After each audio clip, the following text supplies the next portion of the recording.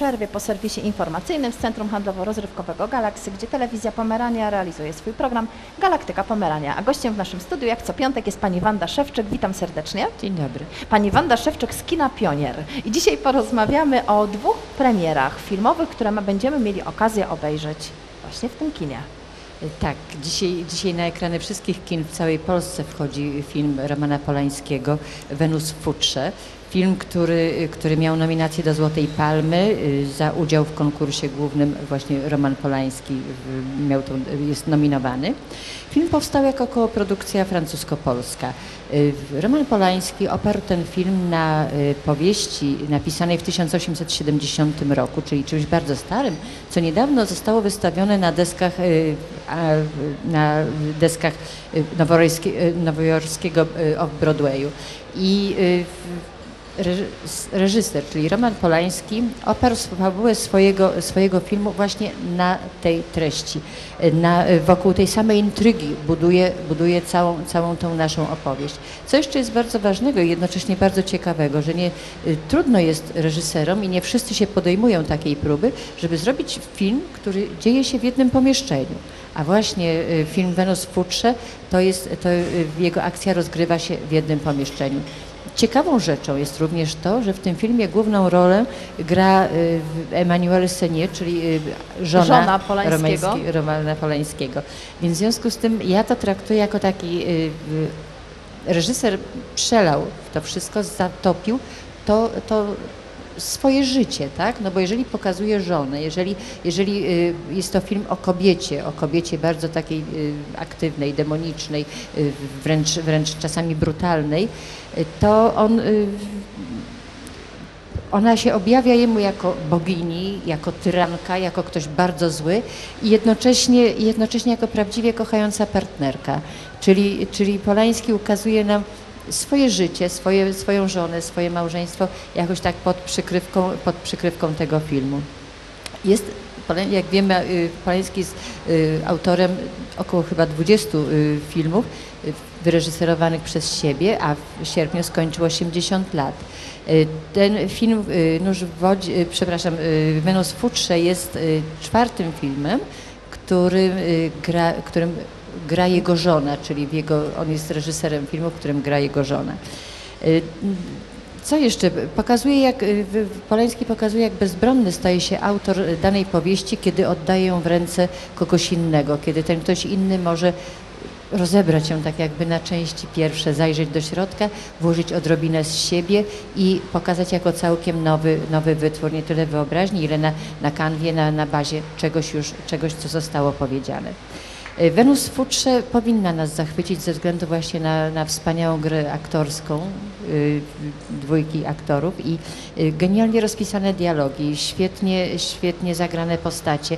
I tu jest chyba coś bardzo ważnego, bo ogromny, ogromny doza zaufania, jaką aktorzy darzą reżysera, gdzie on potrafi z nich wyciągnąć to wszystko, to co jest w nich najbardziej wartościowe.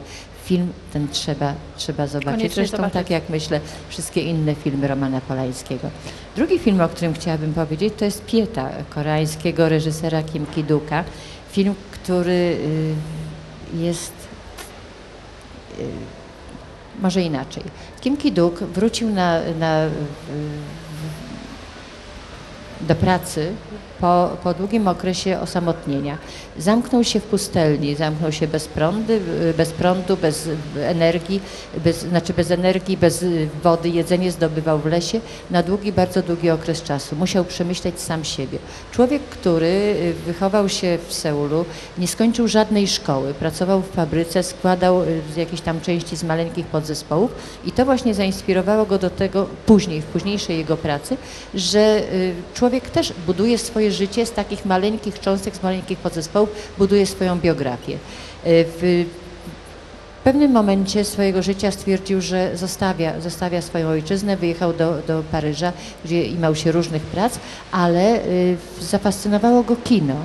I tam jako człowiek, który, który w sa- w zasadzie był bez, bez żadnej szkoły, bez żadnego wykształcenia, y, zdobył, zdobył właśnie te pierwsze szlify. Po powrocie do kraju zaczął, zaczął tworzyć filmy, zaczął y, tworzyć je w, w ogromnej ilości. ale wszystkie były niesamowite, niesamowite. Film, który mamy od dzisiaj na ekranie, Pieta, jest y, od 2012 roku oficjalnym koreańskim kandydatem do Oscara na 2013 rok. Y, Pieta została nagrodzona Złotym Lwem na ostatnim festiwalu w Wenecji. Y, Kim Ki-duk powiedział wtedy, że chciałby zaśpiewać ze statuetką w dłoni na scenie Pałacu Festiwalowego. Bierze oddech i wykonuje y, bardzo tradycyjną koreańską pieśń, którą potem tłumaczy, że opowiada ona o powtarzającym się w życiu cyklu cierpienia i szczęścia. Co pokazuje nam Kim Ki-duk w tym filmie? Film Ki-duk pokazuje nam miłość matki, y, z którą był bardzo związany i y, do, którą bardzo, bardzo kochał. Także y, miłość matki do syna i miłość syna do matki. Syn, który jest windykatorem, czyli ściąga długi. On idzie, idzie na, na całość, idzie na żywioł, że tam y, nieważne, jeżeli ja nie mam z czego oddać, to odda ubezpieczyciel, ale żeby oddał ubezpieczyciel, czyli mi musi się stać krzywda tutaj, tak, w tym momencie. Czyli są przebijane ręce, leje się krew, zrzucanie z któregoś tam piętra w budynku, to wszystko jest pokazane na ekranie.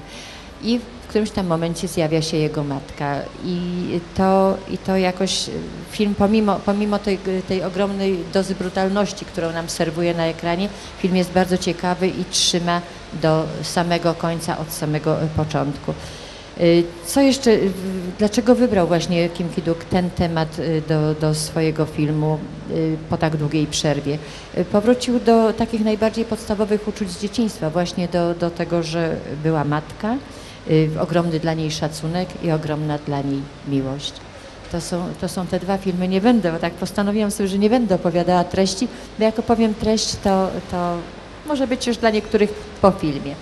Co jeszcze, co jeszcze fajnego? Gramy drugą, drugą część y, filmów Top Europa, czyli dalszą y, tych najciekawszych filmów z zeszłego roku i tam y, w, pokaz, w niedzielę zagramy film Coral Gold w- zdobywcą kosmosu z takiej prawdziwej taśmy z projektora w kiniarni naszej. Czyli na takie bajki, jak my pamiętamy. tak, tak, to będą te prawdziwe laleczki. Zresztą mam przed oczyma w tej chwili y, tego misia Koralgola, który sobie tak spaceruje po tej, po tej scenie, czyli animacja taka.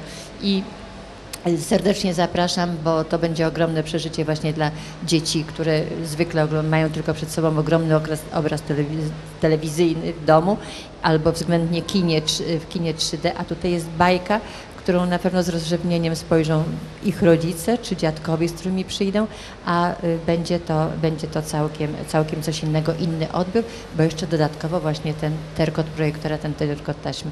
Miałam dzisiaj spotkanie z młodzieżą szkolną, gdzie właśnie spotkanie w kiniarni, gdzie mówiłam im o początkach kina, jak to było, że właśnie na początku, kiedy nie było sal kinowych, projektory były wwożone do kawiarni, gdzie, gdzie stały pośród widzów i właśnie w ten sposób oglądano filmy. Taka była zachęta, takie były początki kina.